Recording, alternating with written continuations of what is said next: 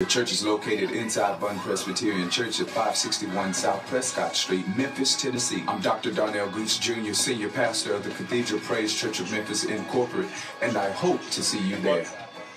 Listen to the edit. Oh, one. Jordan 2015. That's the wrong one. Oh, yeah. You got a new one. He just recorded a new one. New, the, Hey, John, the new old commercial. commercial's playing. 501c3 organization that was founded to fight social inequality. Yeah. Support our campaign for our three core principles of education. Yeah, we want to run. and. Yeah, because this, this is All old. donations are tax deductible. Donate online at relationshipunleashed.com. Okay. Come on and join the campaign. Go get tested for HIV. Yeah, take that one off, burn that one up. HIV/AIDS has become the third leading cause of death among African Americans between the ages of Is it on in here? 25 and 34. He said he gonna It's catch the the next break. Don't has talk about the- This is the last one. death for The African monitors for the people on the Facebook ages Live. of 25 and 34. So The spread of hear. HIV/AIDS is the single they greatest health crisis currently confronting African Americans. It should be. Hey.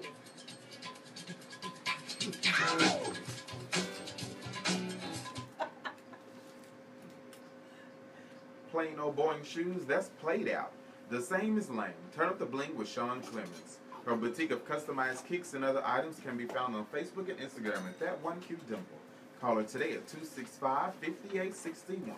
You bring it and she'll bring it. The Unleashed Voice magazine is here and you can find it in a location near you. Side Street, Spin Street, Cafe Eclectic, and many other sites. Check out tvmag.com for exclusive content, to sign up for subscriptions, and to get your business in our magazine. Don't forget tvmag.com and follow our social media movements. Would you like to donate or become a sponsor with our radio show? Want to be a guest? Or do you have any show ideas? Go to relationshipunleashed.com today and let your voice be heard. Want to call in? Call us 260-5926. Let's talk about money. Join us on August 29th at 325 Wagner Street as Wells Fargo hosts our next empowering conversation with Raymond Brown Investments. Go to relationshipunleashed.com today to register for free. Join Relationship Unleashed for our first annual Night of Elegance, a benefit for the Relationship Unleashed nonprofit. The Night of Elegance takes place September 24th from 7 until midnight. Everyone is a VIP. Tickets are only available online and they're $50. You can find tickets on relationshipunleashed.com. And we're back. Or you can go Ah. to uh, www.eventbrite.com and search Relationship Unleashed, One Night of Elegance Yes. to get your tickets. You can only pre-purchase. We do not accept money. We cannot and will not accept money at the door. Please pre-purchase. We expect this event to sell out. This is the show where we educate, empower, and enrich the community. This is the Unleashed Voice on KWAM 990 Talk Radio. Uh, once again, September the 24th, it's going down, a night of elegance. We're gonna. Is it an all white affair? What are we doing? No, No. just a night of elegance. A night of elegance. I'm wearing white. Where did you I'm get pure. that from? So uh, we have a call. Oh Lord, we hadn't talked about nothing. Hey, Caller, somebody wanna talk. You're live on the livest radio show on KWAM 990 Talk Radio. Even though we have not talked about anything, go ahead, caller. Oh, well, what, what you doing? Hey, what are you doing? Who is this? Father, Proverbs. Father of the earth. The Earth. What's up, Earth? I'm wind and she's fire. How you doing? What's up, man? What's- What's going on? I was, I was going to chime in on your, your topic um, about six things black people do to, to their money up. Okay, well you you can start us off with one then. What's number one?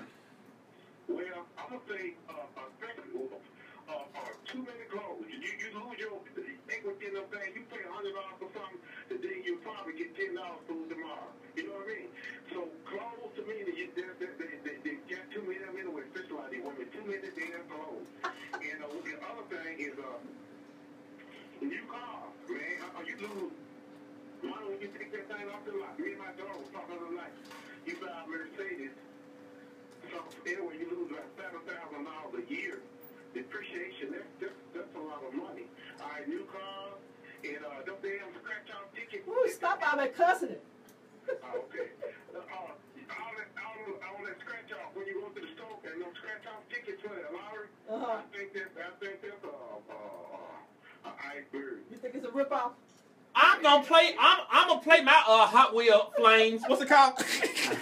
Jumbo Bucks. I'm playing my Jumbo Bucks. I won five playing jumbo bucks. Congratulations, you did good. I'm lying. I'm lying. Lucky us like this. I'm lying. Well, we thank you for calling in. We're gonna get this list down. Thank you for calling in, sir. I mean, Earth. Hey, can I get one more thing? Come, Come on, man. Earth. You got cars, clothes, scratch offs. Look, if you don't have this on your list, see, go to the store and see how many cigars Now wait a minute. I I no. Uh uh uh uh. I smoke. Hey, Earth. Earth. Earth. Earth. This is this is Wayne talking. I smoke cigars. and You ain't gonna tell me I can't spend ten dollars on a cigar. Oh Lord. Earth. Whatever.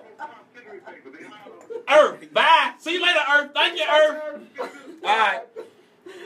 So the topic of this radio show. Earth done lost his mind if I can't smoke my dog on cigar. Whatever. Six biggest mistakes that black people make with their financial slip ups. All right. So we're gonna talk about money, and this show is related to our financial empowerment workshop that's coming up on the 29th. So we're trying to give you a precursor of what's going on, why people stay in poverty, uh, how you could be disproportionately uh, ignorant about your money because you don't know things. Because I'm, I'm part of this myself. I'm not eliminating myself because I tell you, you can look at you can look at my uh, account and it will tell you what my value is. All right. Well, let, we gonna we're gonna move. We're moving too slow. Come on, So let's go. Get it going. So uh, write this down. The six big mistakes that black people make with their money. I, I don't. I can't talk about white people. I'm not white. I'm black. So I'm gonna talk about black people. Number one is So, okay, before you begin, this is not our list. We got this list off Ebony, ebony.com. it's my list too. Hell, the stuff Yeah, I'm in here. pertains to me. All right, let's go. Number one is black people do not have a budget. So not having a budget is a mistake that most black people make because you need to keep track of your uh, month, monthly uh, expenditures. Uh, you know, when you use your car, uh, spending, all the above, you have to have a budget. So number one, we make mistakes by not having a budget. Anything you want to say about that? Okay, I'm gonna be the devil advocate. I do not have time to write down everything that I spend all day long. That's- I don't have time. That's why your bank account reflects you don't have time to write down what you don't spend every day, all day long. Okay, so in the money mistake, they said not having a budget. hmm They said you need to develop a want and a need. Okay. And in your budget, you got to cut the want out hmm and use that money to create a saving cushion. hmm Because I want a whole lot, but do I really need it? And one other tip they tell you what you do with your money. They said out of your check, 65% of your income should go to the things you need. hmm Rent, groceries, mortgage, utility, transportation, gas, See y'all. casino. Negative. okay. 20% go towards savings to reduce debt. hmm 15% go toward the things you want, such as vacation, hanging out with your friend, having that top shelf margarita. Whoop, whoop. hmm So that way, you're taking care of your obligations because you've already appropriated 65% toward the things you need. That's how you recover. And they give two websites you can go to to help you track your money. Quicken, Intuit.com, and Mint.com to get you started on a good budget. Money mistake number one, not having a budget.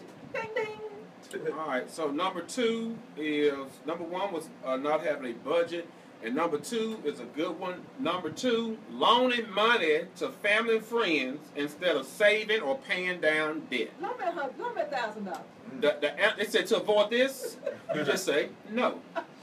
And that's a problem right there because I had this experience one time. I had a person to give me a call and ask could they borrow some monies, and I let them borrow some monies, and I did not get my monies back, and they were family. So to avoid um, you get my money that I have to save or money I have up for emergency, do not loan money unless you can put this stuff in writing. Draw up a payment plan uh, uh, create a loan schedule uh, so they can repay you back because most of the time, from my experience, I'm black. When you loan money to black people, I'm black, you're not going to get your money back. Now, I can't talk about nobody else. but I'm talking, that's from experience. I'm not telling what I heard. I'm Pretty telling you what I know. I have given black people, I'm black, money, and I, I'm, I'm still looking forward. What year is this? I'm gonna take up. I'm gonna take up. Take up on. Devil advocate. I'm, I, take a phone. I will say something. That was a 2013 study done by Prudential, Mhm. African American Financial Experience. Uh huh. And they said black families are often financially responsible for family members. Okay.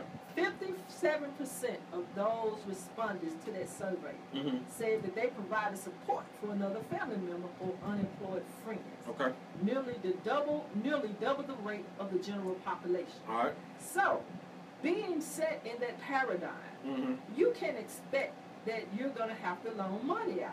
But actually, you might as well stop saying loan it. You might as well just loan it Yeah. away Just a and don't even expect it back. Absolutely. Because when you say you finna loan something, you finna you finna have some problems because you Mhm. want that money back, and you Mhm. know they're not gonna pay you back. Not a dime. Not a dime, like I do you. Loan me hundred dollars. No. And that's how you avoid loaning money out.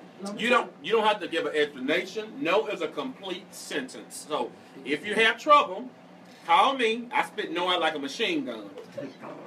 And you don't ever have to worry about arguing about it. You say no. But tell people what to do. Okay, so in the event you do loan out money, I am from experience. This experience right here. so this is what you do. This was this what you do from experience. You always drop. Don't give them nothing. That's what experience right there. You always drop a contract.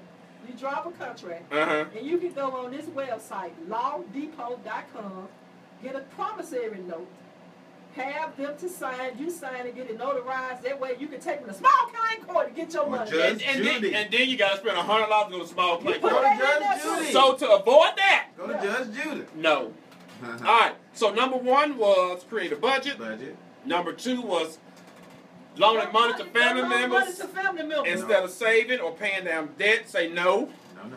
And we're gonna start with number three after this first uh, second break. Hold Number three what, is What about Facebook friend Mark Benton says uh, he's have to be a Caucasian? He said, don't say what Mark just said. Saying, he said he broke for the same reason. So it's not black folks' problem. Well, see, Mark, I can't. Mark, call the station. Our number is nine zero one. Oh, 260-5926 901-260-5926 that's the number but number three is this one and we're going to take a break and we're going to come back number three is the reason that black people make mistakes with monies is living check to check and not having an emergency fund that's Yeah. number three so this is our last pause for the calls we're going to come right back and we're going to jump into living check to check without having an emergency fund I want I want y'all to call in and tell the truth because if we had a Pinocchio reader and y'all tell me y'all got six months of saving, I, Child. call up here and tell that lie. Give me a dollar. 260-5926. 901. So 901.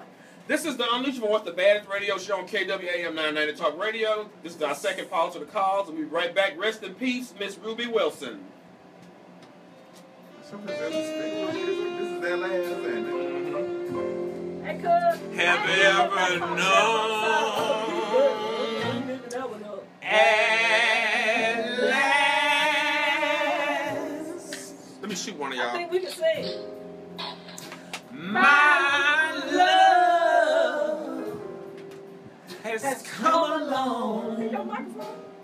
Oh, we reached for a dollar.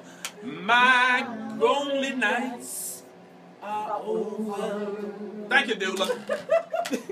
Hope our new commercial come in. Furniture offers brand new mattresses. Uh, he's gonna have to.